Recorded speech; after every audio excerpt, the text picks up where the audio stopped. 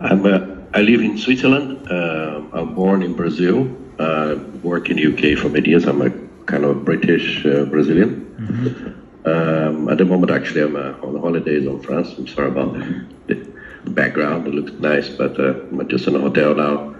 Uh, wake up four o'clock in this morning just to attend your course. I'm really uh, looking forward to finish. I think your content is brilliant. The way you explain as well is brilliant.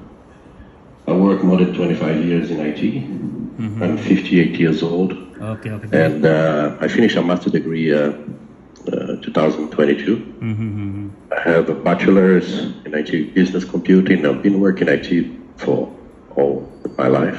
Mm-hmm. But now I'm trying to get into uh, into a security analyst because I just realized after finishing a master in IT security management, you have uh, you needed to brush up your knowledge. Correct.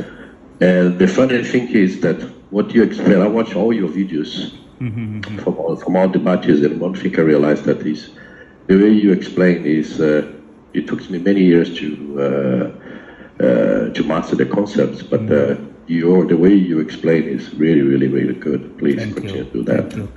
So I'm looking forward to join uh, your course.